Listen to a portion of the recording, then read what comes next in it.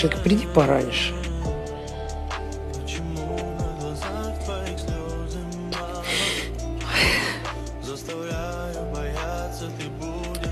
Вообще не надо было уходить из дома.